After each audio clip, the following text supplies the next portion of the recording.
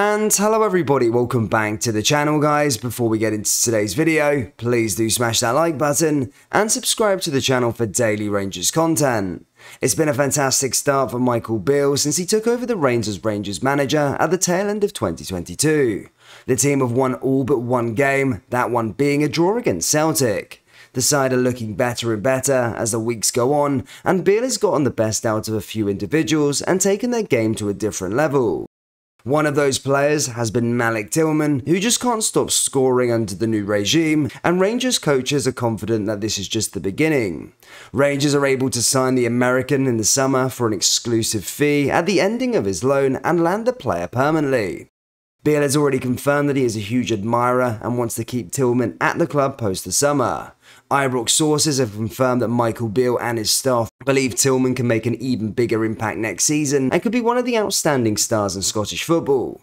Tillman has managed 9 goals and 5 assists across 36 appearances this season, with 4 goals coming in the last 7 Scottish Premiership games. Sources point out that there is a feeling Tillman can explode in a team that is increasingly geared to his talents and ability on the ball. It has been well documented that Rangers will have a squad overhaul in the summer, and the feeling around the place is that Beale could genuinely build a team around Malik Tillman in the summer transfer window. Former Rangers player Christian Nerlinger has raved about the Gers attacking midfielder and has said that he's been following his career for a long time. Nerlinger says that Tillman would be a bargain at the price he is being touted for and is a player who's got huge potential. He feels that a player would be worth more than £5 million in the near future. He said, I understand why Rangers are so keen to sign him for that money. If I was at the club, I would be trying to do the same thing as well. This is a player who could be worth a lot more than £5 million in the very near future.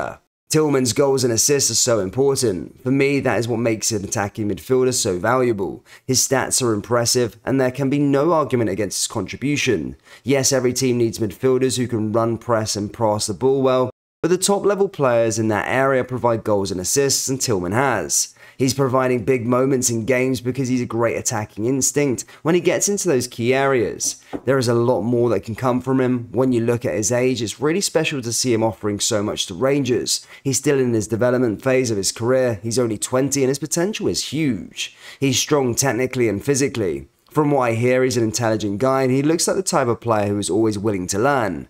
To come over to Scotland and settle the way he has is very impressive. He has made a very big impact in a short space of time. There is always a lot of pressure when you play for such a big club, but he's handled it all extremely well.